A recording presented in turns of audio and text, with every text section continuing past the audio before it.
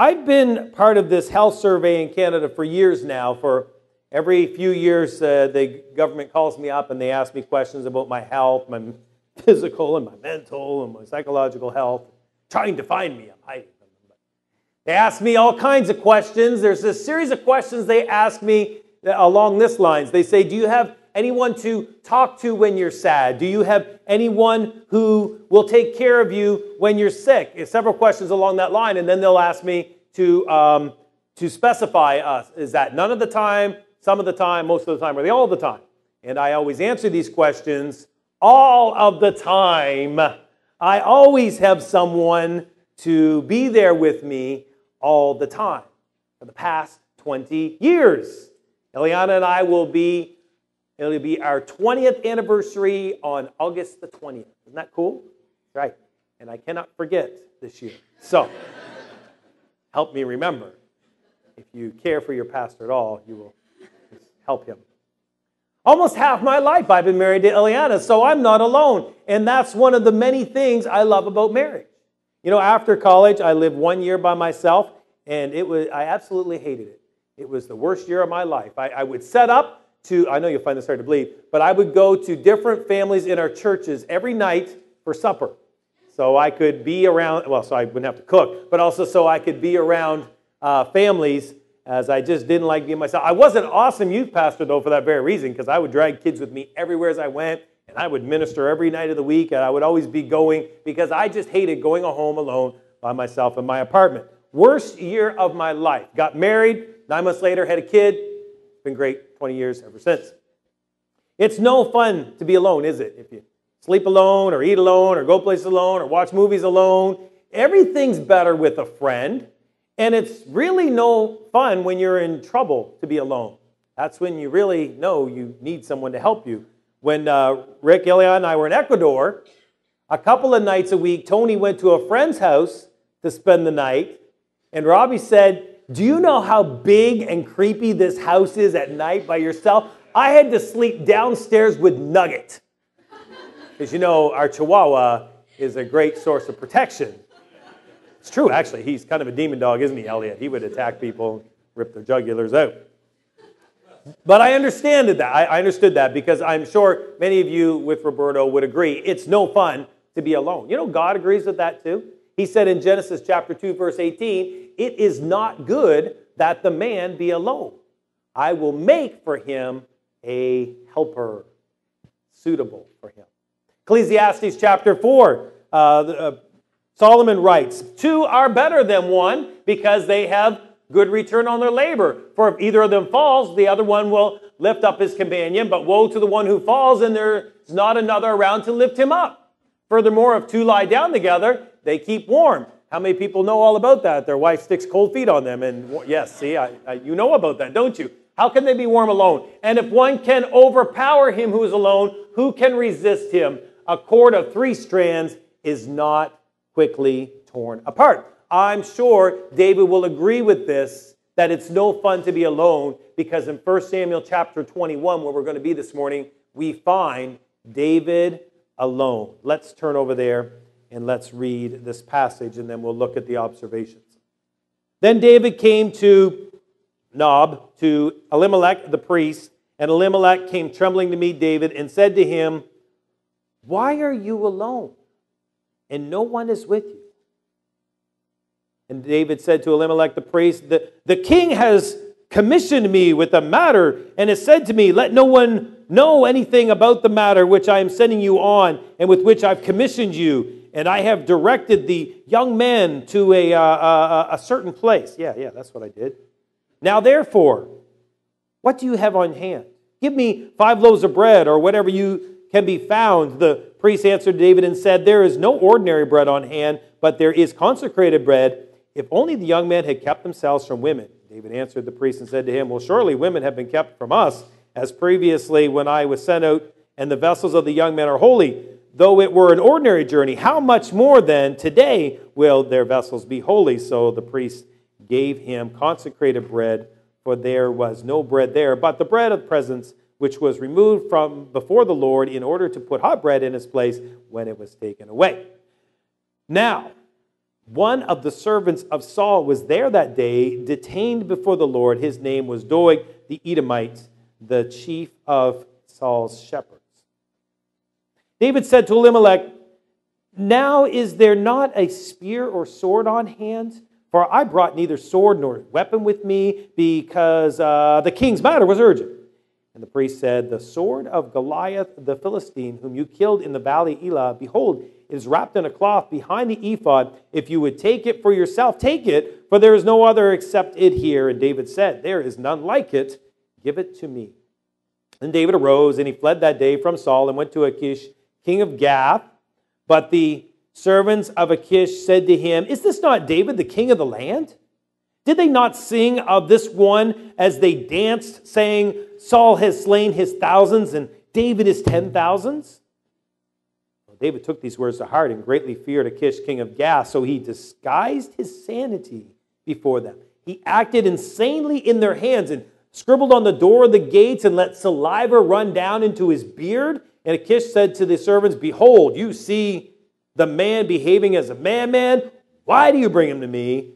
Do I lack madmen that you have brought this one to act the madman in my presence? Shall this one come into my house? Well, we see, you know about David that he grew up in a big family. And David's used to having brothers and family around. He's used to having people watch out for him. Once he started serving the king, everyone in the nation loved him. He had lots of attention. He was a leader, and there was men under his command that were ready to do whatever he ordered. He had a wife who loved him. His, he was best friends with Jonathan, the, the king's son. So this guy's well connected. He's got people. He's got resources. But now he doesn't and he shows up at Nob by himself. And it's obvious to Ahimelech, the high priest, that something's not right with this picture. And he says to him, Why are you alone? Why is there nobody with you? Why are you alone? That's a good question. Last week we talked about being a loyal friend and having loyal friends. We talked about loving and serving each other. And when you do these things, you draw people to yourself. Now, I would flip that logic around and propose to you if you are not loving and serving others, chances are you are not a loyal friend and you haven't been able to develop intimate relationships. Consequently, you are alone. I know a fellow who, in the past year, has managed to lose all of his relationships. His wife left him, his kids went to their mother, he has no work, despite the fact that he has been in this county for over 30 years. He's not developed any relationships with any employers that wanted to keep him on or keep him around. His own mother said to him, I'm done with you. I've got nothing left to give. That's pretty bad when you lose your mom's love, right? When your mom turns on you, you know you've messed up. Likewise, though we've tried to help him here in the past, he has burned bridges here. And the last time we talked on the phone. He was living out of his truck. He had nothing, and he still couldn't get what I was trying to say to him when I was talking to him about faithfulness to God, commitment to coming to church, learning and changing and evaluating himself. He couldn't hear me. He just mumbled about how everyone abandoned him and he was all alone. But being alone was a symptom wasn't it? Wasn't the problem. It was a symptom of bigger issues. Things he does which drives people away. And until those behaviors are addressed, that state of loneliness is going to continue. I find it quite telling when people fight and battle with others, they claim to love, and after they drive them away, they complain, they complain about being lonely and nobody loving them. However, if you look at 1 Corinthians chapter 13, which I read often to many, many people, and we talk about it often around here, don't we? What does Corinthians say? Love is patient and love is kind and it is not jealous and it does not brag. It's not arrogant. It does not act unbecomingly. It does not seek its own. It's not easily provoked. It does not keep records of wrong. It does not rejoice in unrighteousness. It rejoices in truth. It bears all things. It believes all things. Hopes all things. It endures all things. And I tell them that definition of love, and very little of that are they practicing how can you claim to love someone when you do the opposite of what defines love? You don't love them, you love you. And you want people to love you, but you aren't willing to actually engage in the act of loving. And that will wear people out. That will make them want to get away from you. My grandmother stayed with my grandfather for years. She, uh, he was an alcoholic. He was verbally and emotionally abusive.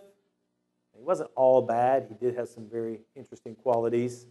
And, you know, I'm sure there were things she could have did better and said better. And she, she had her own flaws too. But she'd gotten sick. And her, she was tired of the fighting. So she eventually moved out and got into a little seniors complex, retirement complex, and left him in the home. What was sad is that he would call her every week. He got her number somehow. And he'd call her every week and tell her how much he loved her and beg her to come home. And then a half an hour later, he'd call her and curse her. So, you know.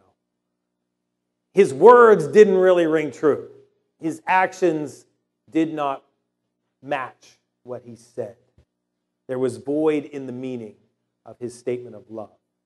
So, this is one part of the equation. Sometimes, something for us to think about is that we might be alone because of the toxic environment that we are creating that people can't live in. Now, the other side is that we may be alone because we have to walk away from someone who has created a toxic environment.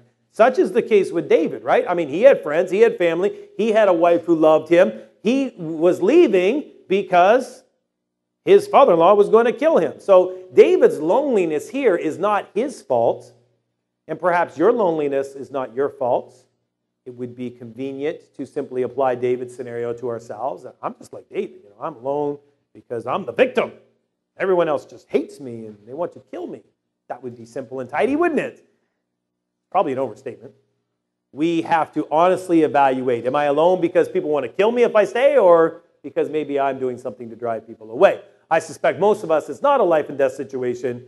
We may be unhappy, we might be dissatisfied, there might be some anger and bitterness, but probably most of us are not in a life and death. If you are, leave. I recommend you follow David's example there. Most of us are probably much like my grandparents, that uh, two sides and both parties uh, could work on it, but perhaps we're too stubborn to do our part. Why are you alone, David? The priest asks. And what does David say? Says, Well, you know, the king has commissioned me in the matter, said to me, Don't tell anyone what the matter is. How convenient. I'm sending you on this commissioned you, and I've, and I've directed the young man to, to go to a certain place. He didn't say the place, just, you know, a certain place, that's it, somewhere. What's David doing there? I think he's lying? Yeah, this is uh, very common. When you're alone, it's hard to trust. It's hard to open up. It's hard to tell the truth because often people are afraid. And I think David's afraid here. He needs some help, but he doesn't want to explain the situation. He's trying to, you know, fly low under the radar. He doesn't want Saul to know where he is, so he just lies to the priest. I'm not alone. Yeah, I've got men with me. They're, yeah, you know, someplace, and uh, we're on a secret, secret covert, uh, urgent mission. Yeah, yeah, that's it. Now, some commentaries interpret this passage that David said there was some men with him, so he did have some, in fact, have some men with him. He must have had a group. But I don't agree with that because none of the rest of the details in this passage indicates that he has any group of people with him. When you look at chapter 20, he was with Jonathan by himself and he was hiding by himself and then he left, right? And then when you see what happens in 21, where he goes to the Philistines, there's no mention of any other group. And he's acting crazy because he's scared, right? And he's, he's trying to, you know, get out of there without losing his head. So um, I, I then you see in verse chapter 22, that is when actually some guys come and join him. So right now, I think it's pretty clear that he was alone and he was just lying. Now, sometimes we will see people in Scripture who do things wrong, like lying about stuff, and we are tempted to conclude, well, because of the situation, and because we know David's the good guy, it was okay for David to lie. It was necessary because he was in a tight spot. And the answer to that rationalization is no. No, that's not what this is teaching us. It's not okay to lie. This is, this is a narrative passage, historical literature, recording the facts, not telling you, do this, just this is what happened. So even though it worked at the moment, it does not work out for the best. And we're going to learn that when we get into chapter 22 next week. Ahimelech and the priest and their families all get slaughtered because they helped David. Well, well, that wasn't David's fault. He didn't slaughter them. Yes, but at least had they known the truth, then they would have had the opportunity to decide do I want to risk my life? And they didn't get any choice at all in that. Maybe they would have helped in many ways, maybe not. David's lie, though, my point is, is David's lie has some unintended consequences. Likewise, our lies, which often we tell for our own good or somebody else's own good, may have unforeseen, unintended consequences. Ah, I don't want my wife to know about this. Eh, it'll only hurt her. It's going to make a big mess. Let's just avoid this drama. We'll sweep this under the rug and maybe it'll all go away. Usually it doesn't go away, does it? Usually it all comes out and it creates more drama. And we end up with unintended consequences. If you're lying to yourself about why you're alone, without a doubt, you're just prolonging your state of loneliness. Blaming everyone else and not admitting your part is just keeping you stuck in the same crazy cycle. Know what crazy cycle is? You do the same thing over and over and expect different results, but it doesn't work that way. It keeps working out the same way. That's a crazy cycle. David lies because he needs something. What does he need? He needs food. What else? He needs a weapon. I think that right there should have been an indication to the priest that he was lying. I mean, what captain of the guard goes anywhere without a weapon? And furthermore, who, what guy would go on a journey without a lunch? I mean, I don't even come up to work for the day without packing a lunch. If I was going on a journey, we go grocery shopping. We make snacks and lunches and meals. It's like, you know, hey, are we going to stop at a restaurant? What? Of course not. We're not wasting money there. We're going to pack a lunch. Takes up the whole car, but it's worth it. I'd venture to say probably David doesn't even have any money. I mean, think about it, he took off in a panic, right? He doesn't have a weapon, probably didn't have any money either. When we make knee jerk emotional decisions, we rarely have time to plan or think through all that we're going to need, and then we find ourselves in desperate situations. Now, when we used to live in Truro, Nova Scotia, our church was the first church that you would find when you came off the highway as you drove into the town. So what would that would mean is that a few times a year we would have hitchhikers or even people with cars coasting into town on fumes and they all had the same story. I'll tell you the story right here. They were from Newfoundland and they were trying to get to Toronto because they had a buddy who had a job for them or they had a relative there who was going to get them a job. And so they had gotten across here on the ferry and they were stuck here and they just needed some money so they could get. Or it was the other way. They were in Toronto and they were trying to get home to Newfoundland. They were trying to get home and they got this far and they were running out of gas or they ran out of food or they ran out of smokes. And uh, you could tell they, they ever came in, they are always in a desperate situation. You know what you, happens when you see someone in a desperate situation? It, it just compels you to want to help, doesn't it? You just want to help. And and the two people in this story, David who's lying and Ahimelech who's helping, probably Ahimelech's the guy that we should learn from, right? We should say, well, you know, he's being a good countryman. I think that if we were ever going to err, it would be better to err on the side of helping people, of being too generous as opposed to being too stingy. If the worst thing someone would say about you is that you helped to your own detriment, that you gave too much, well, at least you erred in honor, trying to honor God's word and do something pos, uh, positive. You erred trying to help. The priest, he gives. But, you know, this isn't just some newfie coming off the side of the road here either. I mean, this is the king's son in law, right? This is David the war hero, the guy who slayed Goliath. Matter of fact, we happen to have the very sword that you took off Goliath right here. David has as much right to that sword as anyone, right? That would be logical. So David's like, yeah, I'll take that. And he gets what he needs and he rolls out and he thinks he got away scot free. But then the author gives us a little detail that you need to hang on to. Did you catch it in verse 7? Just out of the blue, it says, Oh, by the way, there was a servant of Saul there, detained for the Lord. His name was Doeg the Edomite, the chief of Saul's shepherds. And just remember him. File that back there. We're going to meet him again sometime soon. But for now, David leaves Israel. And it says in verse number two, he fled that day from Saul and went to Achish of Gath. And Gath is, of course, one of the cities of the Philistine Empire, right? It's, it's now, he's leaving the country and going into the Philistine territory. Uh, he thinks he's going to be safer there. But as we noticed, it only makes matters worse because, at least in Israel, they've got the customs of hospitality and he's got family and he's got people that admire him and uh, he's really only got to stay away from one guy, right? I mean, everyone else kind of likes David, but he's got to stay away from Saul. But when he goes to the Philistine territory, he's got no friends, no allies. He's carrying the weapon of their great fallen hero. That's maybe wasn't such a wise choice after all. He's, uh, he's famous because he's killed thousands of their countrymen. Pretty hard to hide when you're public enemy number one, right? They even, they even, he's so infamous, they think he's the king of Israel. Did you catch that? Where they said, Is this not David, the king of the land? He, they equated him to being, you know, the ruler of Israel. And so he's in a lot, he's in, he's out of the frying pan into the fire here as he goes over to uh, Gath. David has to think on his feet and he realizes, oh, I'm in a lot of trouble here. So what does he do? What does he do? He acts crazy, doesn't he? In order to survive being by himself, he feels he needs to lie and he has to, he feels the need to act crazy. You know who keeps me from doing lots of crazy stuff? You could say it, it's okay. You're what? yeah. Jason, you feel me on that one, don't you, right?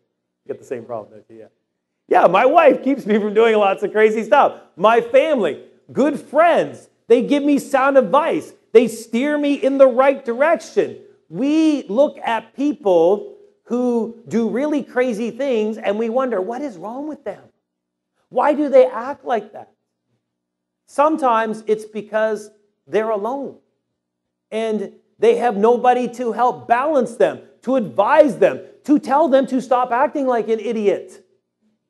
Sometimes you have to love someone enough to tell them that you are being a big idiot. If you've got friends who will confront you and tell you you're wrong, don't get angry at them and walk away from them. They are your good friends. Most people don't like confrontation and they will avoid it as much as possible. And for a friend to actually step up and confront you and tell you you're wrong means they probably really do care a lot about you. If they didn't, they would just ignore you and leave you by yourself. Sometimes you've got to be firm and you've got to tell people that their behavior is not acceptable. Lots of young people are growing up with nobody to tell them their behavior is not acceptable, so they really don't know how to conduct themselves they dress or they look or they act or they talk crazy, they're screaming for attention or they're doing stuff deliberately to push people away from them. They're, maybe they've gotten hurt by the people that were close to them, so they do crazy things to sever those relationships. It's a defense mechanism. It's intended to keep people away because they're afraid of getting hurt. That's exactly what David's doing, isn't he? He's pretending to be crazy so that they will leave them alone. And actually, in the Philistine culture, the Philistines believed that people who were insane, that was a result of a specific act of God. They assumed that that crazy person had contact with a deity and they felt we need to just leave them alone. So they feared madness, and because of their superstitions, they just would keep a distance from crazy people. And that's really all that David wanted, wasn't it? He wanted the Philistines to leave him alone. So he's doing this crazy thing on the door, and he's letting spit run down his beard.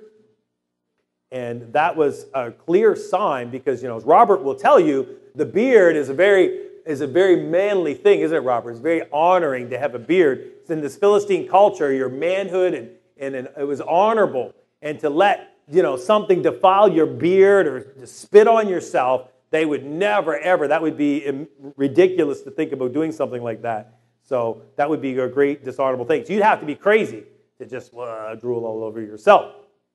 And, uh, you know, that's exactly what David wanted. They left him alone, and it works for the moment. But at the end of the day, David is still alone. And he really needs some help. We too need to recognize just because someone is looking or acting very weird, just because they're putting up walls with their behavior to keep people out, doesn't mean we ought to stay away. It means that we should work harder to love them and help them. We'll have to take down those walls with patience and with kindness. We'll have to search harder to find people and bring them, help lead them out of that state of loneliness. It's no fun to be alone. Do you agree? We all know that. We all should see when someone is alone and recognize that's not good for them. And chances are they really probably don't want to be that way. Perhaps they just need some help making some friends. They need some help connecting with people. Maybe they're afraid. They need people, maybe they've been hurt and they need people to extend some help and some love and to make some room and give them a chance. We can never say, I've got enough friends already, thank you very much. I have no time in my place for other people. No, we can never, ever have too many friends. And as long as there are people who need love, we can't leave them alone. We can't.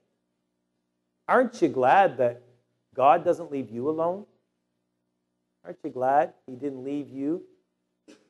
Joshua 1 9, have I not commanded you? Be strong and of good courage. Do not be afraid. Do not be dismayed, for the Lord your God is, that's right, He's with you wherever you go.